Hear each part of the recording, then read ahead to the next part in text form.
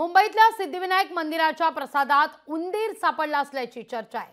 प्रसादात उंदीर असल्याचा video viral झालेला आहे. लाडूच्या प्रसादात उंदीर असल्याचा आरोप होतोय. सिद्धिविनायक मंदिर ट्रस्टनं हे सगळे आरोप मात्र फेटाळून लावलेले आहेत. त्या ठिकाणी कोणत्याही प्रकारच्या इतर कुठली वस्तू किंवा घाण येणार नाही याची पूर्ण काळजी घेतली जाते. तो जो काही व्हिडिओमध्ये दिस दिसणारा जो काही प्लास्टिकमधली जी काही वस्तू आहे किंवा जी काही घाण आहे ही कुठेतरी उकिरड्यावरती वगैरे काढलेला फोटो असावा अशा प्रकारचं प्रथमदर्शनी दिसतं दिसतंय. याची पूर्णपणे आम्ही चौकशी करू.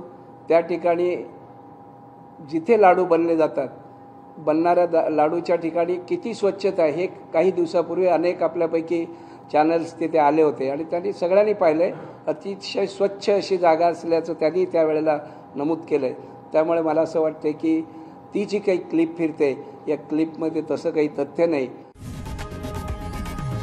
लोकशाही मराठी.